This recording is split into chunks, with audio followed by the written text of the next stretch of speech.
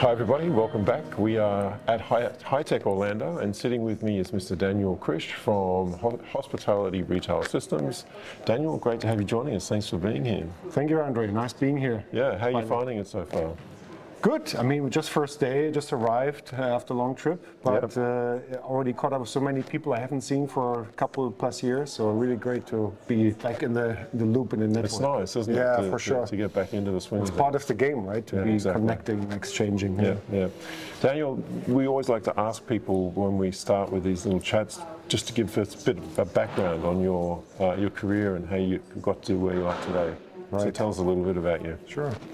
Traditionally born and raised hotel guy, you know, traditional education in Germany, apprenticeship, then moved uh, into hotel management school later on. Uh, worked in hotel operations primarily, rooms divisions, and then decided to take a short break for education. Lived in the US for a year, mm. done an MBA there uh, to again go a little further, and then I went into the consulting space for hotels hotel chains in EMEA, um, hospitality, tourism companies, travel agencies, um, kind of even market research for H2C. And together with Phocuswright, we did some good things.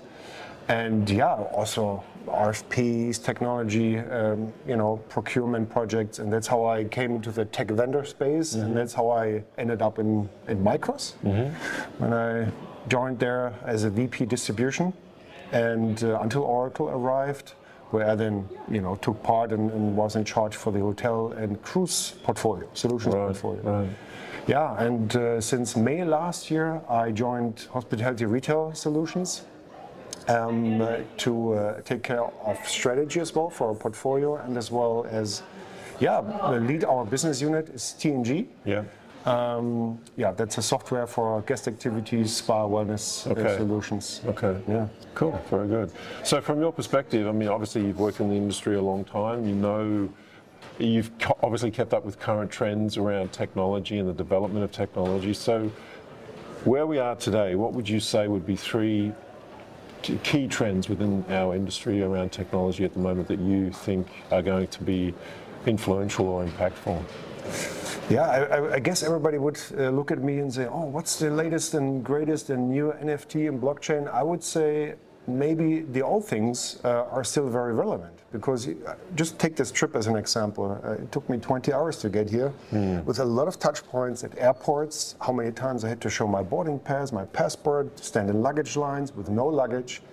And it just the whole process is still uh, manual. It has, uh, you know, it's, it's not connected. Um, and I think this is same happens in hotels. Right? Mm. When you check in or check out, there's a lot of things that can be done. And let's say convention center or large resorts where guests just want the experience. And this is what I, I try to, to keep uh, emphasizing on. This guest experience makes a difference um, whether someone is successful or not.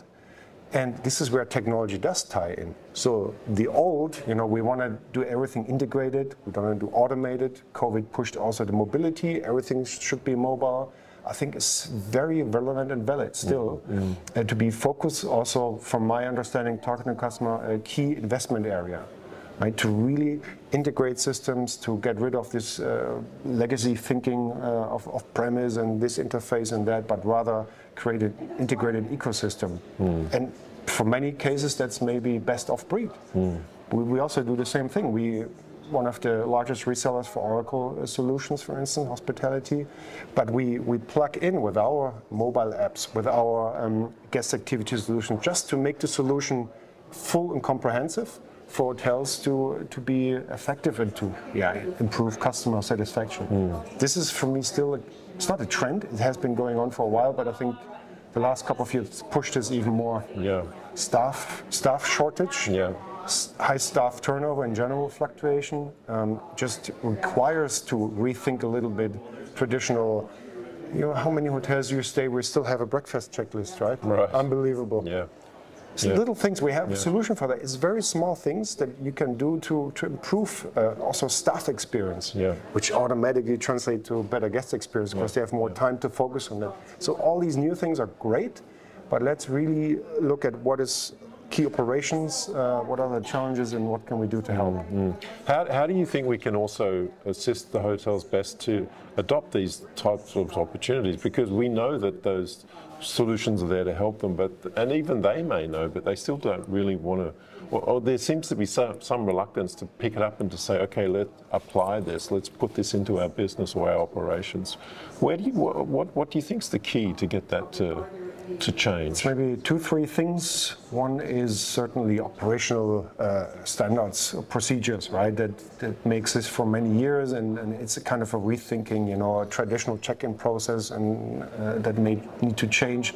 It even has to do with legislation in many countries, as we know. Yeah. Registration card in Germany, for instance. Those things just need to go away. Yeah. One one example. Uh, the other one is, of course, um, maybe some hurdles or barriers for integration because you need an additional interface to do this and that.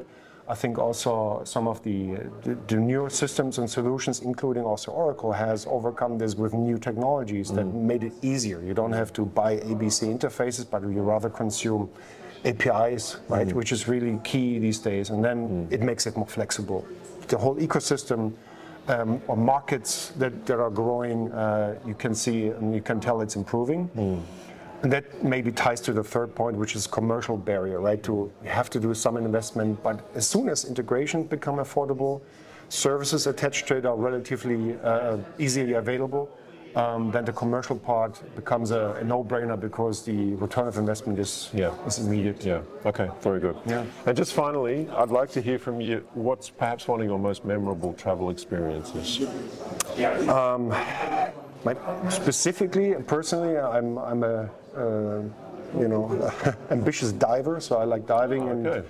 years ago, we did uh, go to the Maldives to a local hotel chain, um, Villa Hotels, and we stayed there and we did uh, diving with whale sharks, which Oh, is wow. uh, kind of a holy grail for for divers. I know people who had hundred times more dives than I and never never saw this. Wow. But what, what's I think important on this, which reminded me also, uh, is this local and authenticity. I love authenticity. Even if I go on business trips, if I can, I try to stay in a B&B or in a hotel chain as well that picks up some of the local culture, food, mm. Mm. that gives this authenticity, which I really love. Because otherwise, it's great to recognize, you know, this uh, brand ABC again and again. But mm. I'd love this this local touch, and that's Yeah. something Yeah, yeah, I, I personally prefer. Yeah. Yeah. Very good. All right. Well, Daniel, thanks so much. Great to have you here. My Thanks pleasure. chat. Thanks, Andre. Thank you. Bye-bye. Bye.